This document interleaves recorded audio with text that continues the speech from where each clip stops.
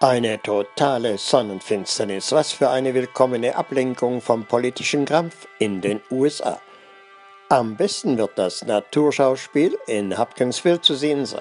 Da war ich erst im März. Das 30.000 Seelenstädtchen in Kentucky ist seit Tagen im Ausnahmezustand und Las Vegas Fanproduktion leider ohne mich ist dabei. Ich werde live über das iPhone dabei sein und plötzlich bemerken, dass die Vögel nicht mehr singen und dass Totenstille herrscht im Moment der Sonnenfinsternis.